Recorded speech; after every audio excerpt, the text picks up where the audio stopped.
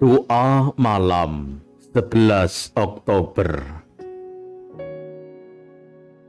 Ya Tuhan, jadikanlah kami pewarta dan saksi perdamaian dan keadilan. Dalam nama Bapa dan Putera dan Roh Kudus. Amin. Ya Santo Yusuf, saksi keadilan dan perdamaian. Lihatlah kehidupan dunia ini penuh dengan ketakutan, syarat dengan penderitaan, serta dihantui oleh peperangan yang selalu diambang pintu. Bantulah kami untuk membuka hati kepada Yesus, Sang Pencipta perdamaian, seperti yang telah Kau lakukan sendiri.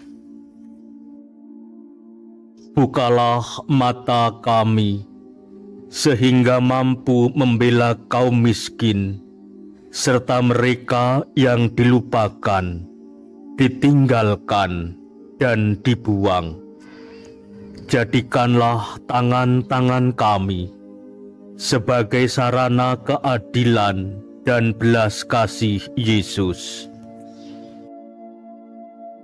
Berikanlah kepada kami kasih, iman, toleransi, serta keberanian.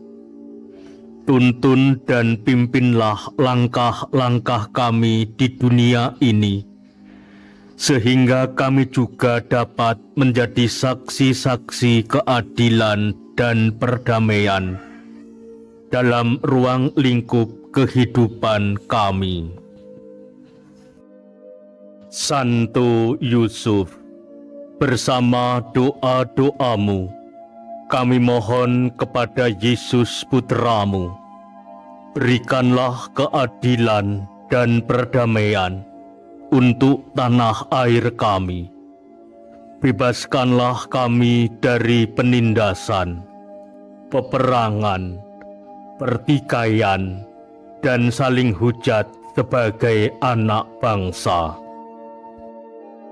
Hentikanlah berbagai permusuhan dan peperangan atas nama kelompok dan agama Anugerailah kami persatuan dan kesatuan, agar bangsa kami tidak mudah terpecah belah karena kelompok-kelompok tertentu.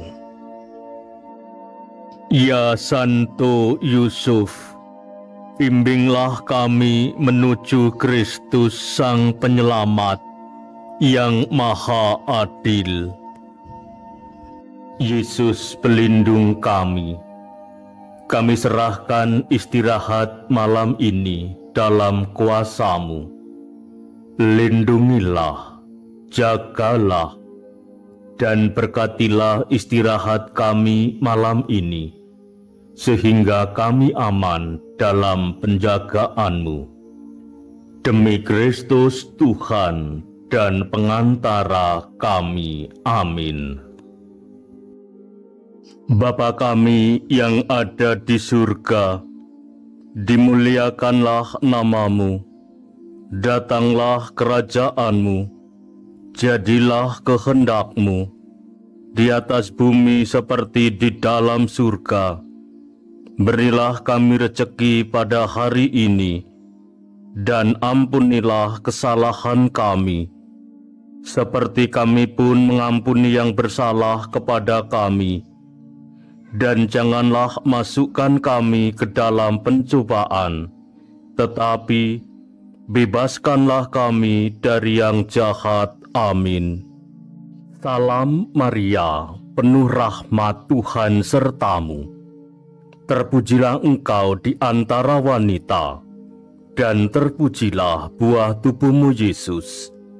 Santa Maria, Bunda Allah, doakanlah kami yang berdosa ini, sekarang dan waktu kami mati. Amin. Kemuliaan kepada Bapa dan Putera dan Roh Kudus, seperti pada permulaan sekarang selalu, dan sepanjang segala abad. Amin. Marilah kita mohon berkat Tuhan sebelum istirahat. Semoga Tuhan beserta kita sekarang dan selama-lamanya. Istirahat kita pada malam hari ini senantiasa dijaga, dilindungi, dan diberkati oleh Allah yang Maha Kuasa dalam nama Bapa dan Putera dan Roh Kudus. Amin. Selamat istirahat. Salam dan doa. Justinus Juadi, FIC